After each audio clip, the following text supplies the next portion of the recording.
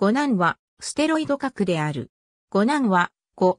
5難5ベータ、5難の2つの異性体を有する。ステロイド核はシクロペンタのペルヒドロフェナント連核とも呼ばれ、3つのイス型6陰管と1つの5陰管がつながった構造を持っている。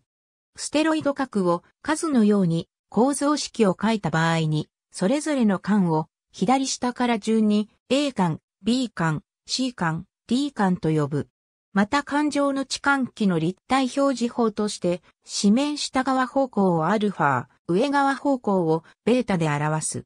隣り合う感同士の間にアルファとベータの両方を含む場合はトランス配置、いずれもアルファの場合はシス配置と呼ばれる。A、B 間の配置は両方を取り得るが B、C 間は常にトランス配置であり C、D 間も多くがトランス配置である。A ハイザ、E ハイザ、アルファハイザ、ベータハイザと表現される場合もある。